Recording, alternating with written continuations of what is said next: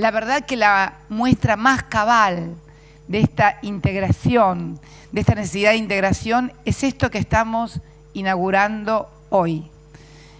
400 millones de dólares invertidos por una empresa argentina, ahora sí, argentina, en este caso IPF. Yo recién le preguntaba a Pepe si había habido alguna inversión de algún otro país eh, hermano o lejano de esta magnitud en la única refinería que hay en Uruguay como es ANCAP y me decía que no. Así que Turco, eh, creo que estamos cumplimentando los argentinos con creces este proceso de integración tan fuerte, invirtiendo. La verdad que la muestra más cabal de esta integración, de esta necesidad de integración, es esto que estamos inaugurando hoy.